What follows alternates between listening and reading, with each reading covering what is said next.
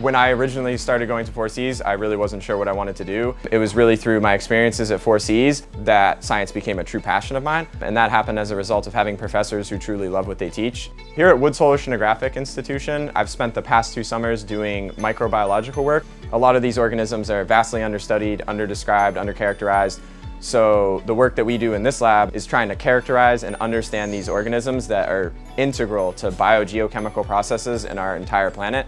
So understanding them better is vital to understanding our planet better. We are a research institution.